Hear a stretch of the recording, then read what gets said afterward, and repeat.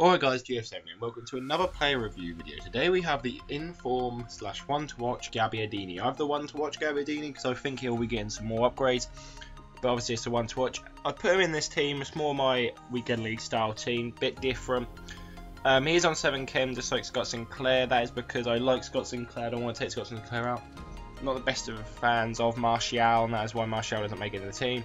It's a decent all round looking Premier League team for the weekend league etc etc. I'm just going to show you a review of him and his card. He's not the quickest, and I'll show you his base stats now. Here is base stats. His base stats look quite nice actually. 84 pace, 86 shooting, 83 dribbling, 76 physical, 76 passing. Very, very good all-rounded player.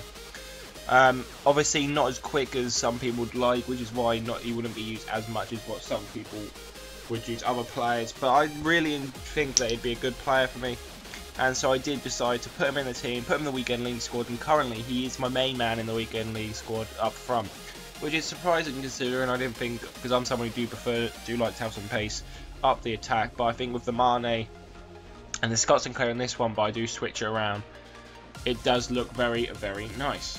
Guys, now time to look at his in-game stats. You can see in the mental stats, the attacking position 83, you always, if you watch all my videos and my reviews, you'll know that attack position is something attack positioning, should I say, sorry, is something that's quite important, and attack positioning is something that he's got high, which proves a good striker. I mean, the pacey strikers just have a lower tag on position, and that sort of lets them down a bit.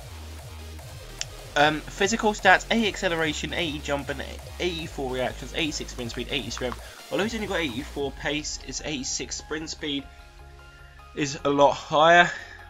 His stamina is a lot less, but obviously his strength and his acceleration 80 do put it up a bit. Acceleration 80 is a bit sluggish considering Smalllands is probably quite a lot more and you're going to be playing against Smalland quite a lot of the time. And in terms of steel stats, ball control 88, so get a ball to him, he'll control that very well.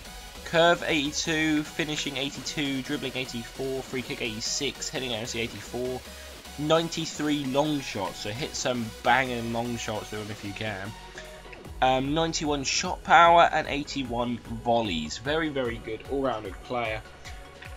Got to test out that shot power and them long shots. That's what really killed the goalkeeper on the opposite position.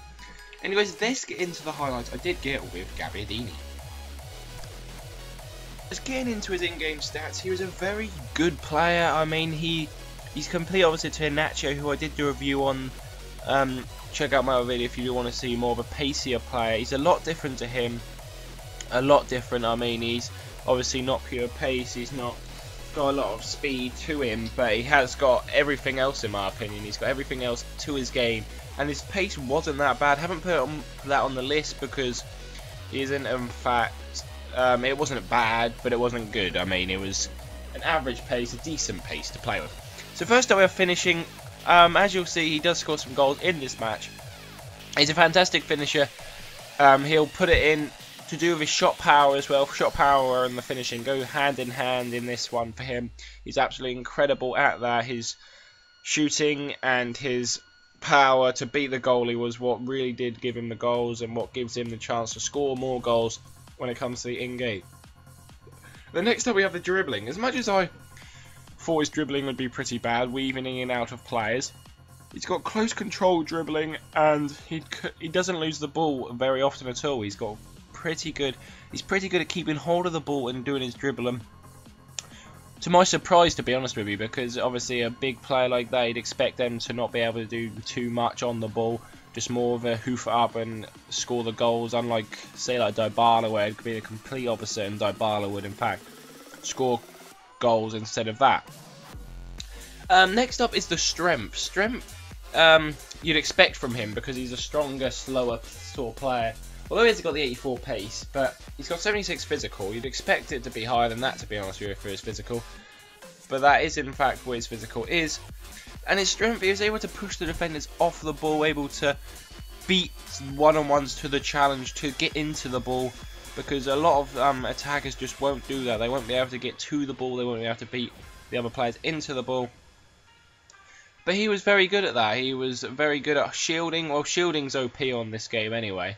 So him with his strength as well, that allowed him to do even better shielding. And that is what his strengths are. Get it, strengths pros. I'll, I'll shut up. Um, and goes on to the cons. We have a passing. First of all, his passing, as you'll see in these clips and you'll see in these highlights, they were very poor, just like Mane's as well. Mane, who is an 87 rated player now, 86 when I was playing this? We might have been 87 as well when I was playing this, but 87, 86 rated winger, you'd expect some decent passing, but that wasn't there for him either. But Gabbiadini, you see, there's a few times where he could have slipped the ball in, he could have scored a goal, etc., etc., but it was just different passing that let him down, stops him from scoring, stops him from getting, stops him from playing other people into scoring, breaks up play, and that can affect you. Obviously, 76 passing, it's not that bad, but it looks worse in game, especially when it comes to the more vital passes like the through balls that are made for the attackers to run on to his from his passes, which shows you is more of a centralised false nine kind of player instead of a straight up striker. And finally, we have the agility on a con. The agility he does in fact um, have lack of simply because of who he is. Um, when you're a big bill like that, EA just don't let you be able to um, wiggle around, move in and out as easily. You can dribble on the ball in and out nice and easily, but if it's really close quarters in terms of agility, that's when it'll become a big problem for him, and that is when it is a big problem for him.